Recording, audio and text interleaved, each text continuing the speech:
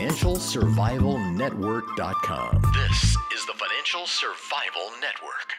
Financial Survival Network is presented to you by Regal Assets. Buy and sell physical gold and silver through your existing retirement plan 100% tax free with Regal Assets. If you want to include physical gold or silver in your existing IRA or old 401k, request your free investment kit, which was recently featured in the Forbes and Smart Money Wall Street Journal magazines. Call toll free 855 678 6620, 855 678 6620, or visit regalassets.com. And it's time for another Triple Lutz report.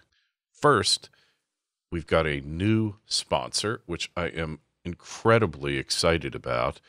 I just placed my first order with them.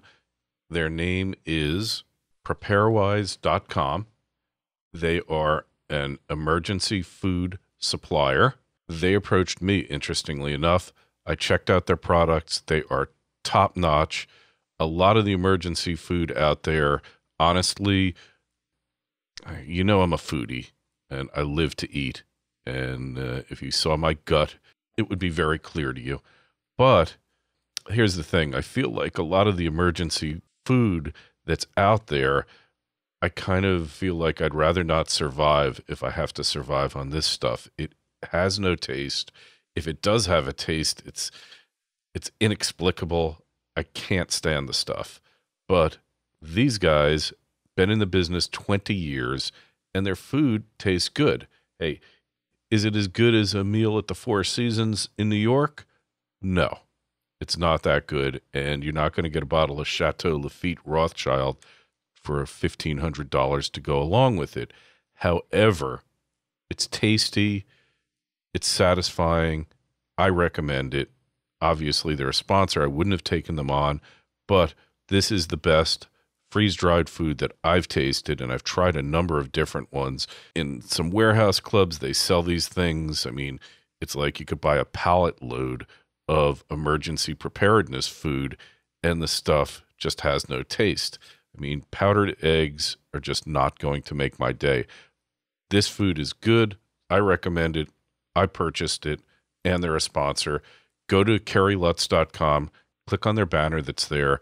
They've got specials just for Financial Survival Network listeners. And I just wanted to talk about that a little bit because I constantly get questions from people how much food should I get? Where should I get it? My opinion about food I think each member of your household probably should have about 60 days supply. If you don't get bottled water, you should get it and you should stock up with about 20 or 30 of them. And then you keep using the bottled water and they pick up the empties and restock it. So you've always got 30, 40 gallons of water in your house because you never know about the water system. Even in good times, we have water main breaks, we have reservoir contamination events, all sorts of things happen. And I don't know if the bottled water is any better. I like spring water. I don't like purified water. I stay away from it. So if you got 60 days worth of food for each member in your house, and then you should throw in some extra just in case. You shouldn't tell people that you've got emergency food ever, just like you shouldn't tell them that you're holding gold and silver. But look, if you want to help friends out to have some extra, not a bad thing. If it lasts more than 60 days, I think we're going to have to go back to being hunter gatherers. And in that case, probably you can't stock enough of it going into the years. I know some people out there, you stock up six months to a year worth of supplies. I understand doing it. I'm not saying that you shouldn't if you feel that that's the way you want to be prepared. My only concern is that you want to keep enough so that you're a little bit portable. So if you got to get out of your house, you can bring the food supply with you. And if things go more than 60 days, then we're talking Mad Max, and you better have your bunker and your shelter.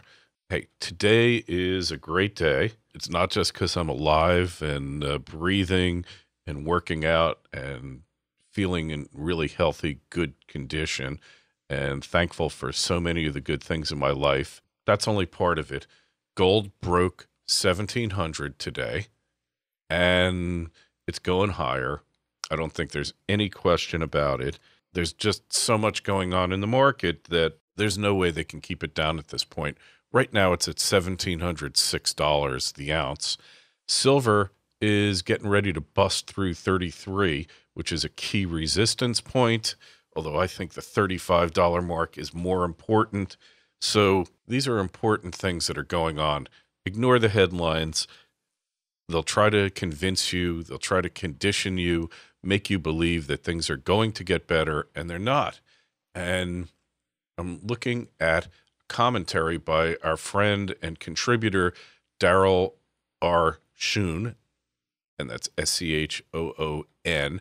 Darryl wrote a paper about the collapse of Western civilization about six, seven years ago called Time of the Vulture How to Survive the Crisis and Prosper in the Process. Now he's on his third edition. So Darryl's a good friend, very articulate. He's an academic and an intellectual, but he's also got a practical side, unlike most of them. So he starts out this article, and it's on kitco.com, which is obviously the precious metals go to site. He starts it out with never make predictions, especially about the future. And Casey Stengel said that, although it sounds more like Yogi Berra would have said it. He's talking about how last year on September 6th, 2011, gold hit a high of $1,920.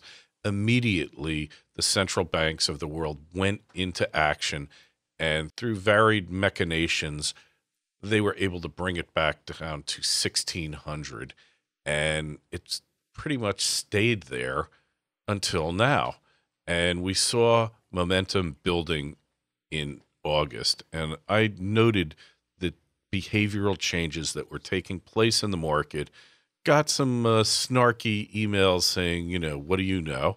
To which I have to admit, not much. I'm not a timer, not a trader. You hear me say that over and over again, and I hope you're not either. But that doesn't mean that I can't see the nose on my face. I mean, I have to cross my eyes to do it. But the fact is, the market, as of last month in August, started behaving completely different. And Darryl's talking about that on an inflation adjusted basis, gold's previous high of around $850 in the 80s would now be $2,466 the ounce. And his feeling is that 2466 will be taken out like frenzied shoppers overrunning Walmart security guards during Thanksgiving's Black Friday shopping event. And if you've ever watched those videos on YouTube, watching these insane people literally have duels over saving 10 bucks on a waffle maker, you can only imagine what those people are going to do when they don't have food and when they don't have water or protection. How crazy are they going to go then? The point is, as he said, there isn't a Paul Volcker there this time to jack interest rates up to 20% or higher. Okay. And that even if the Fed attempts to do it, it's going to be like putting out a rail signal in front of a runaway freight train. It just isn't going to work. And the panic is going to take place, which means that the inflation adjusted highs of gold and silver are going to go through the roof. You got to understand that of the world's wealth today, around 2% of it is held in the form of precious metals. So if all of the world's fiat currencies just go away, then you've got 2% becoming many, many times more. You'll still have buildings, land, and other things of value, oil, commodities. So gold and silver might wind up being 25% or 40% or 50% of the world's wealth.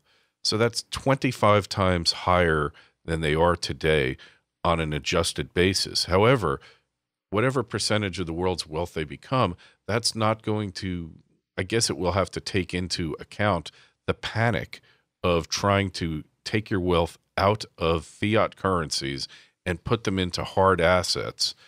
And you're just going to see this thing go so far so fast that pretty soon it will show that fiat currency has little or no value left. Perhaps the fiat currency could be a toilet paper substitute in the event that the supply chain breaks down and you can't get your Charmin at the warehouse club. But short of that, it's not going to be much good. Maybe a cottage industry of uh, artwork will emerge where they where they use dead fiat currencies to create art. But aside from that, those paper dollars, you got paper euros, paper yuan, whatever it is, are going to be pretty much next to worthless, if not worthless on their own. So this is what you need to be thinking about. This is why you need to go to financialsurvivalnetwork.com. Get some food, okay? Just get it. It's not going to hurt. Also, stock up on pasta, stock up on grains, stock up on wild rice. Don't get the bleached grains, all right? They have no nutritional value, although they taste good when you mix it with grease like butter, oil, whatever. Get whole grains, get beans, get things that you can buy in large quantities and put them away and use them. And as you're using them, you go through a bag of beans, restock keep restocking and buy some emergency food. It's the best deal in town. You can buy food so cheaply. And I was talking to somebody about it. You know, food doesn't matter when you have it, money doesn't matter when you have it. Tobacco, alcohol, if you're into it, if you imbibe, doesn't matter unless you can't get it. Money doesn't matter unless you can't get it. Guns, ammo doesn't matter until you can't get it and you want it.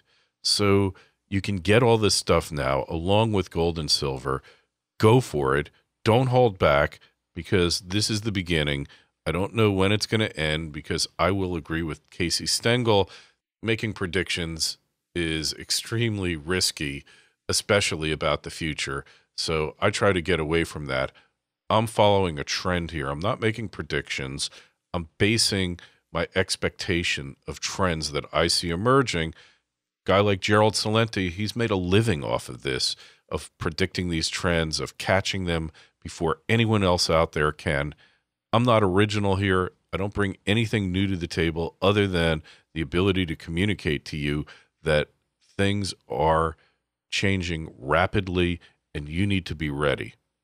Anyway, if you've got some stories about precautions you're taking, about stocking up, whatever you're doing, send it to kl at kerrylutz.com. Also, go to Financial Survival Network. You can hear this Triple Lutz report as well as numerous others we've done. Guest appearances. Gerald Celente was on. We've got Catherine Austin Fitts. So many people. Just come by financialsurvivalnetwork.com. I will talk to you again soon. Prosperous week ahead. This has been another Triple Lutz Report. Kerry Lutz signing off.